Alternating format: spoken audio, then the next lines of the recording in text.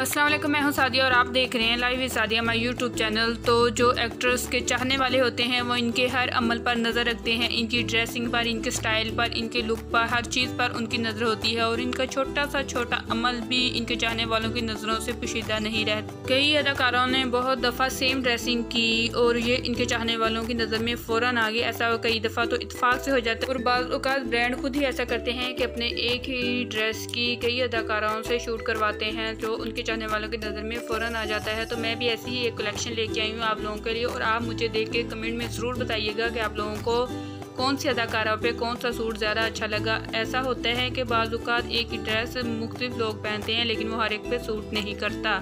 लेकिन अदाकारों पे तो माशाल्लाह से जो भी पहनती है, सूट ही करता है, लेकिन ऐसे होता है कि किसी पे ज़्यादा अच्छा लगता है, किसी पे कम अच्छा लगता है। इस पिक्चर में मायरा खान और उर्वा ने सेम डिज़ाइनर ड्रेस पहना हुआ है। तो आप मुझे बताइएगा कि किस पे ज़्यादा अच्छा लगा था। तो ये वाली साड़ी तीन अदाकारों ने महवशियात उर्वा और मायरा खान ने सेम पहनी हुई है। ये मायरा खान और मावरा ने सेम ब्लैक साड़ी पहनी थी।